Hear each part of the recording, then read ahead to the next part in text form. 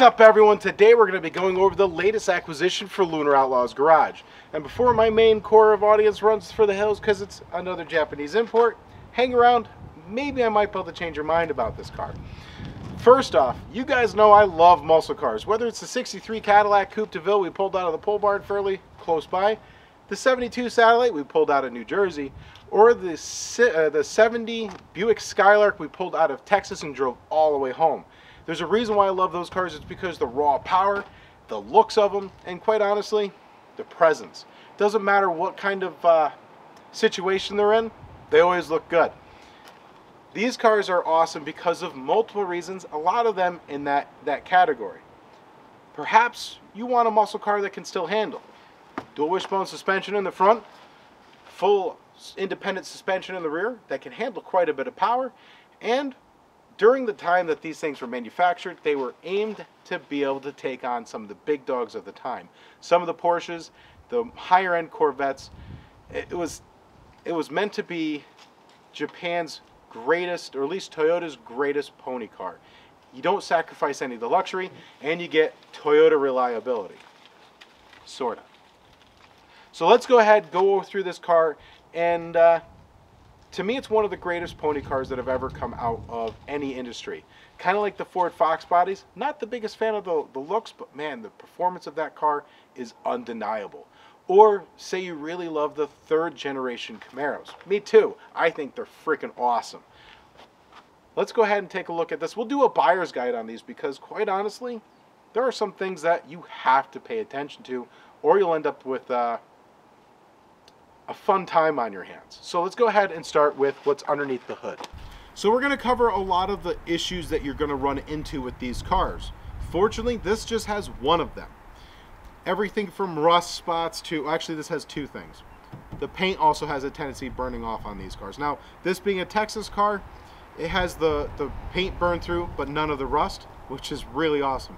It's really inexpensive to put new paint on a car.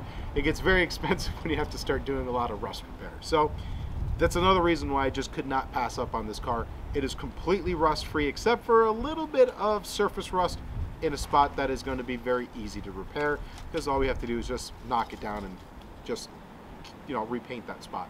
We'll cover that though. It's interior. You'll see it in a second. The major thing you're going to have to worry about with this is the engine. It did not inherit the traditional Toyota reliability. There's a reason for that. The 3.0 single turbo 7M GTE is a totally different animal than the 1JZ and 2JZ you'll find in the, uh, well, the 2JZ and the, the Mark IV and the 1JZ in the Japanese version of this car. Also, why would you want 2.5 liters? Bigger displacement. Come on. I swear it doesn't normally do that. Anyways, this engine right here is really a great engine. And if certain things didn't happen, it would have been known for reliability. Guarantee it.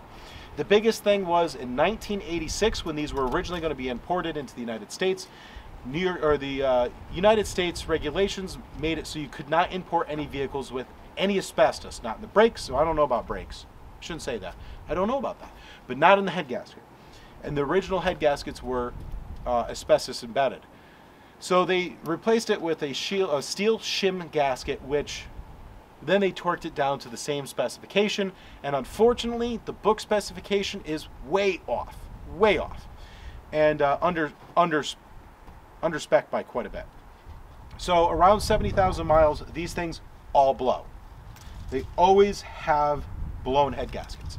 And I'll tell you what, if you get it and it hasn't had a blown head gasket, I don't care if it has 20,000 miles on it. You're doing the head gasket. It's just, trust me, not worth the aggravation.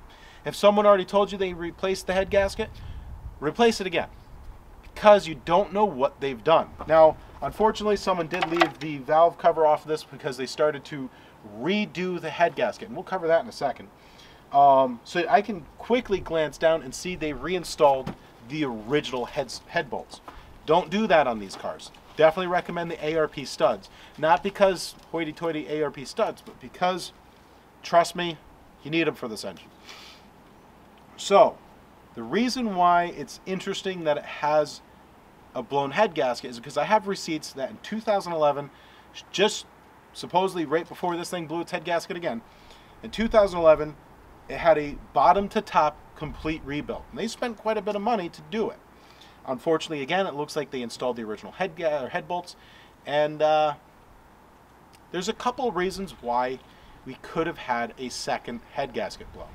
These engines are interesting because in the front of the engine you'll find this piece right here. It's right behind the main pulley off the crankshaft. You have your idler and a few other things just kicking around down there. But if you get the deck, or, uh, if you get it decked, and this is not bolted onto it, you will, because your head gasket actually flows over this.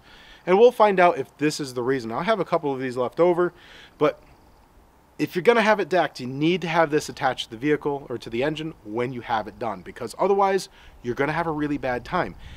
A lot of the second times they've blown, that's why.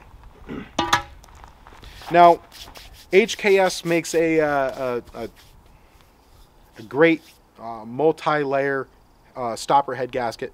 It's a phenomenal option for it. Again, ARP studs, you're never going to have a, a blown head gasket again, unless you're like dumping tons of boost in this car. But other than that, this is a really good example. Has a little bit of cleaning up that needs to be done in here, but again, no rust, and it should clean up just fine. I, I could tell you a couple things that they did when they were working on this. They pulled the engine and transmission at the same time, which you can't do. These are actually, just like a lot of the old Mopars, they have to really take these from down below. If you're going to take them out of the top, you have to separate the engine from the transmission, make sure the hood is off. Obviously they did not. They uh, did a little bit of damage to the liner and they damaged the radiator core support. Now I'll just get up underneath here and tap this out with a, a little hand dowel and uh, a hammer. Not a big deal. But if you're going to be pulling this engine out, obviously do your standard stuff. Separate the engine from the transmission and right through the top. or engine to transmission right through the bottom. Pro tip, if you're doing the 1UZ swap like we're doing in the black car, highly recommend, especially if you use, like I made my own engine mount so that the engine will be as low and as far back as possible. You can't actually put the transmission and the engine together with the engine in the car. So down below, up through the bottom. It's a nightmare to go through the top. It's just too big of an engine. Anyways, so this this is another thing you're going to want to look at is their CT26 um, turbochargers. If you're looking to do a quick mod, Garrett makes a front end on this thing that give you a little bit extra boost. Highly recommend that mod.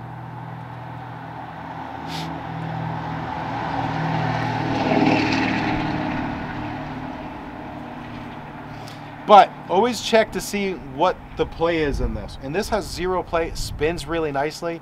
It keeps spinning after I, I've stopped. And one of the big things is a lot of people will not let this thing idle down after driving it. Let the, the oil run through the turbo to cool it down. It'll just shut it off and then the oil bakes off in here. It's a total mess. So this is actually a great um, condition turbo. It doesn't look like it was replaced. It looks like this is original. Other things that you'll find in here, I don't know why. I, I don't know if this was just because they were pulling it off, but this one is broken. I do have spares, so we'll be using a different one than the one that came with the car. But a lot of people like to put, I don't know, clear covers over this, or they'll just leave the cover off. Put the cover over it, guys. Like, why? Why do people do that?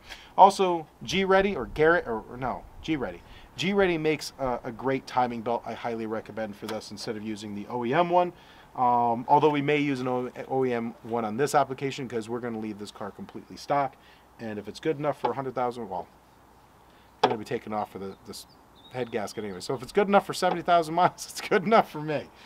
Other than that, if you're ever parting one of these out, one of the most expensive electronics is right here, and that's your igniter assembly. Not assembly, but your uh, ah, it's your uh, igniter control. It it runs your coil pack that sits on the top. It is concerning that for some time this was left with no valve cover on the top of it. So, in my opinion, we are going to be supporting the transmission and pulling the engine so that we can get a better look at this thing. I've rebuilt many of them in the, my day, so what's one more, right? So moving on from the main Achilles heel, we go to the rust. Now this car is completely rust free. You're going to want to start looking through the fenders, along the rockers, quarter panel, it'll start to bubble over. And then the back side of this one's not so bad, but if we scoot underneath here, how well you can see, this thing will focus. I have the light on, but inside right here, you'll find that this will be an issue that will need to be addressed. This one is, of course, free of it. We spin around, you'll find a lot of rust along this section right here. And, see if we can pop the, the trunk. You'll have water intrusion that will come in through here.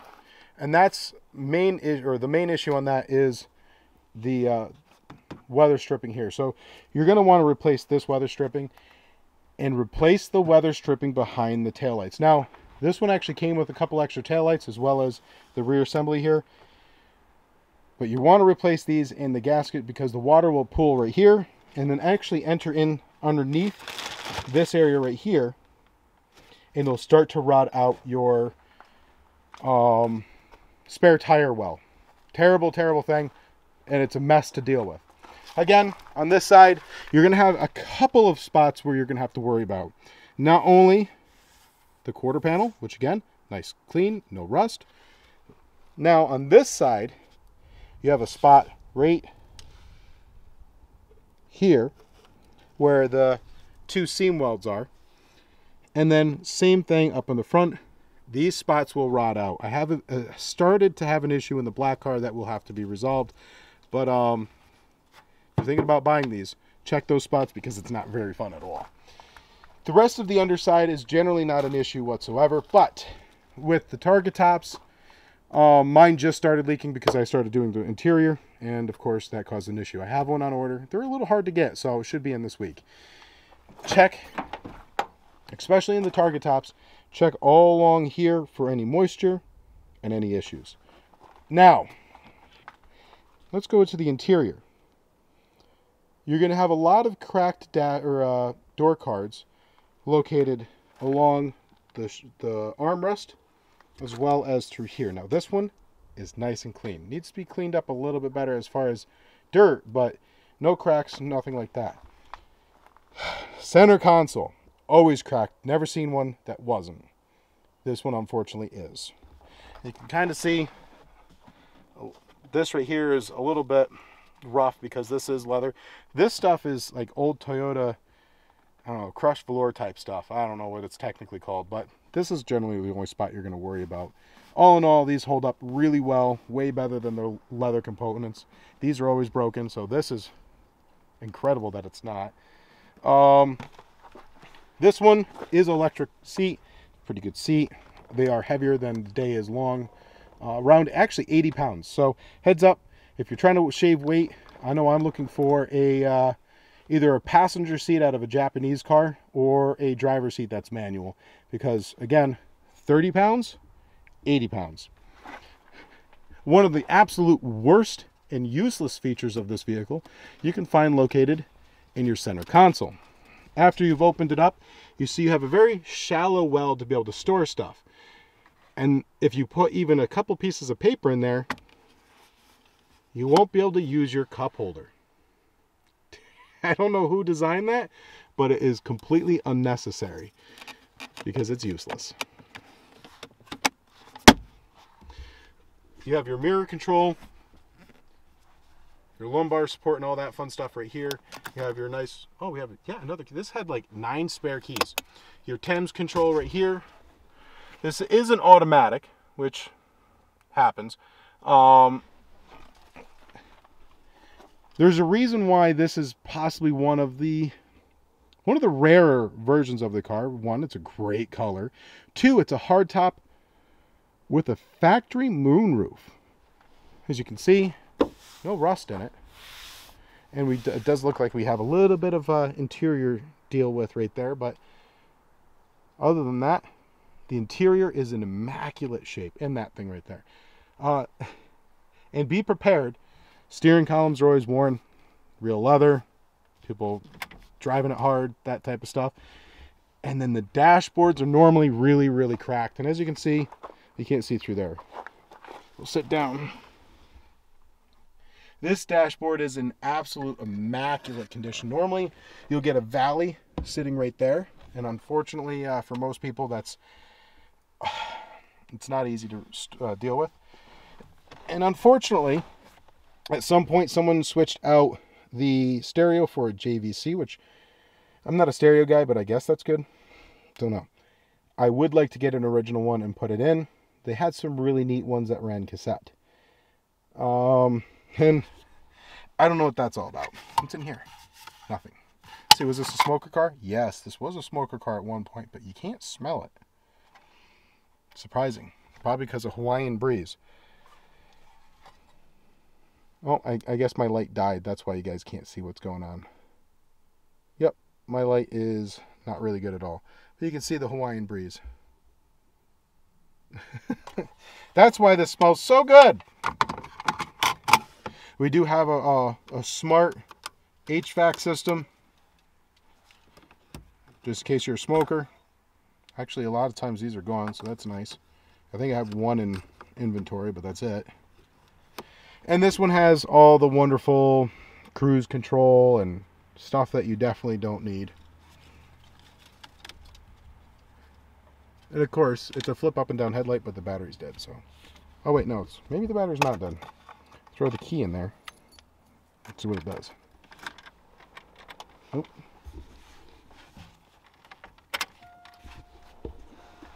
Do they work?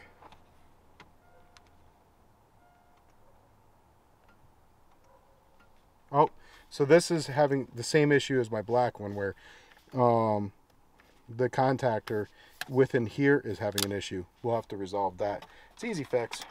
A couple things I want to go over. I've seen people say that these things weigh around 4,000 pounds. No, that's about 500 pounds off. They weigh around 3,500. And I know that they're about 100 pounds heavier than their newer Mark IV version, but honestly, I'll tell you what, that doesn't make too much of a difference. If you want to lose weight out of these things, you can easily drop it below 3,000 pounds. That being said, you could do a lot to these. There's a, it's a great platform to throw a V8 in. It's a great platform to throw a 2JZ in. Maybe Westen, Westen Champlin will throw a Cummins in one of them. Who knows? But either way, it's a great platform to do pretty much anything you want. Now, this car right here is an excellent example of an all original car with some minor defects. The crazy part about it is where this would end up on the price range. Now, mind you, we will go ahead and replace the head gasket, and I don't count that towards anything because honestly, I've done enough of them that it's not a big deal. And if you're buying one, you really should just do it yourself. Um, but we'll replace the head gasket. I'm not, I was originally intending on selling this a few years ago, but especially after getting my hands on this car and seeing how close to being like right off the showroom this thing is, it's only a few uh, shades away from being an absolute immaculate condition. Especially with the rust, it's a great starter for that. A car like this that has not been manipulated and butchered, expect to get around 15,000 for it. I have seen them go all the way up to 24,000, but um, this being underneath the 100,000 miles at just over 80,000, it's not far out of the realm to think that this car can go for around twenty, twenty-two thousand dollars. Crazy, especially if you throw some paint on it. But I've even seen these with the sunroof because the sunroof is not the most desirable if you're looking to turn around and make a track car. You want a hardtop. But once you get into the 89s newer, hardtops become very hard to come by. Almost exclusively target tops, which gets a little bit extra flex, can you could get around that with leaving the target top in or getting a cross member that goes in its place. Hard tops, they're hen's teeth. So expect one in this paint condition with a fully running engine and transmission, automatic, not manual, to run you around 17,000.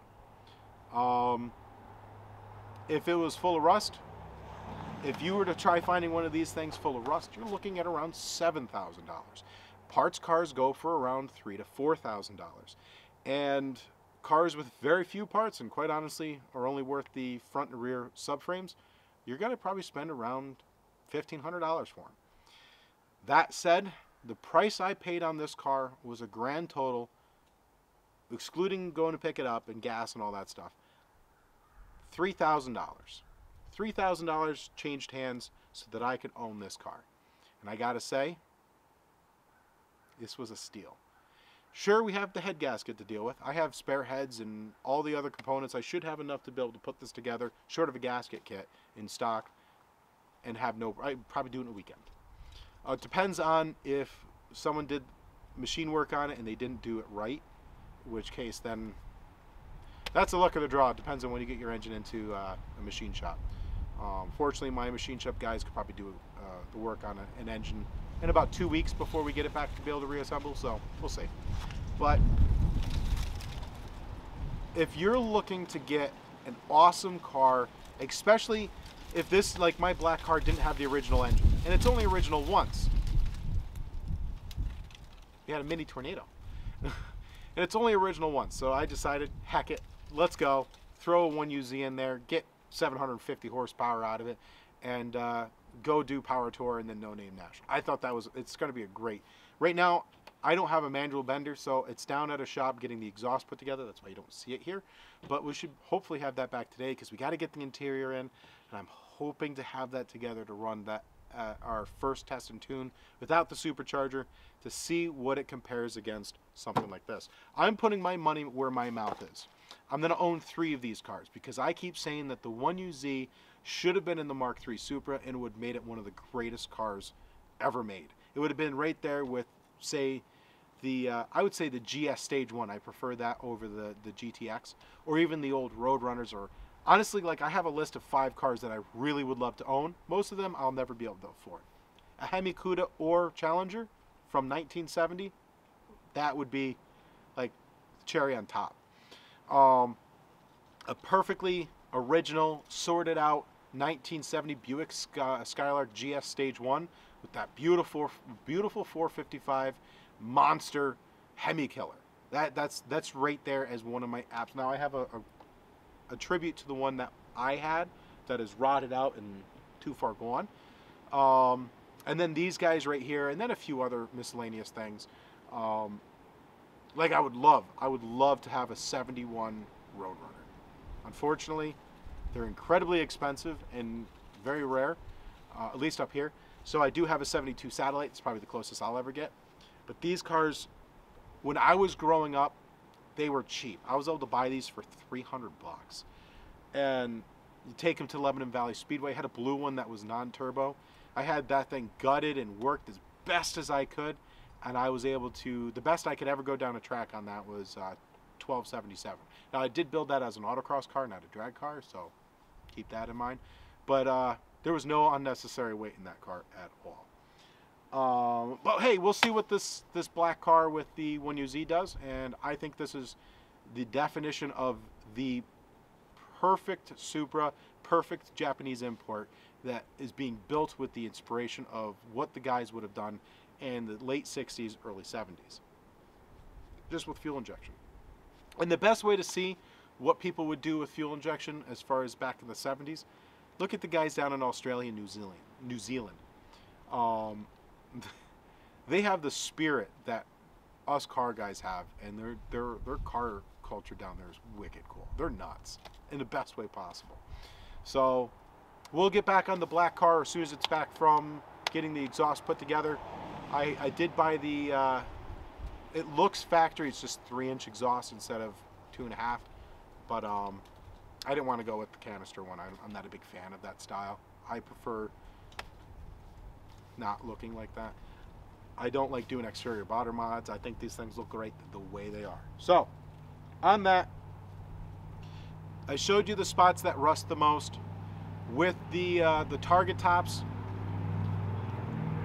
pull the, the top of the target top off and look at the front brim for any rust.